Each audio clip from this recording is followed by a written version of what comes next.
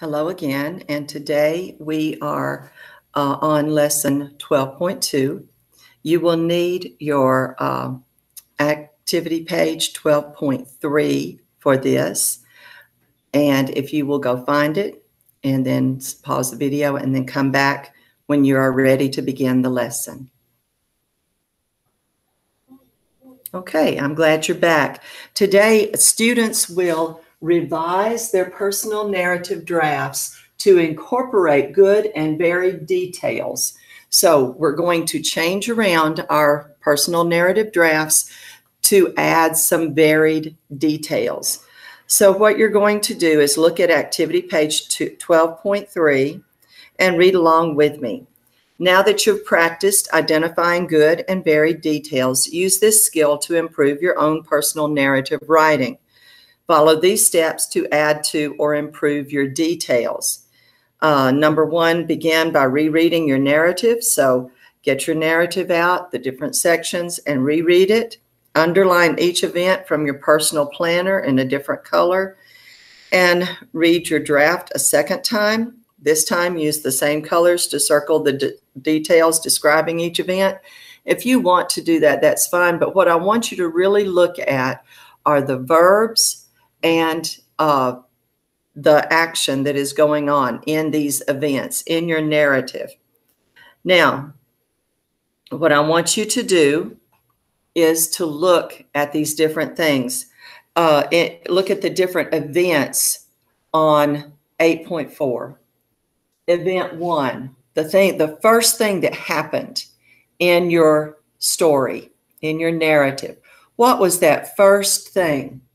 Was it something? Did it look like something? Did you see something, what something looks like? Did you see what something feels like? Was something said in there? Was something, uh, did you hear something? Did you smell or taste something? Was there a physical action or was there a quote?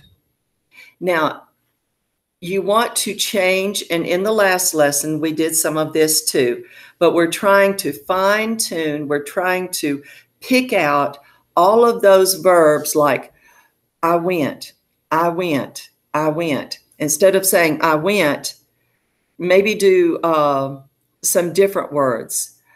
We traveled instead of I went. I traveled. I um, I biked. If you were if your story's about a bicycling event i biked. I rode in the car too. So change it around a little bit and that's what we're talking about today. In this first event the first thing that you did did you do one of these things?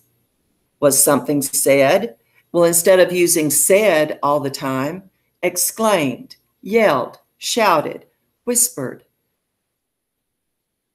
answered. These are all different things. That's what we're trying to do in today's lesson. So I want you to go back and brainstorm over these different events from 8.4. These events are in 8.4. These are 8.4 events. Go back and look at them and see if any of these details can be changed in that event. And that's the whole lesson for today. Are there any details that need to be changed in that event? Now, after fall break, you will be asked to uh, finish writing your personal narrative and to complete the finished product that next week after fall break. So do your details, do your editing and your revising now. That's the lesson for today.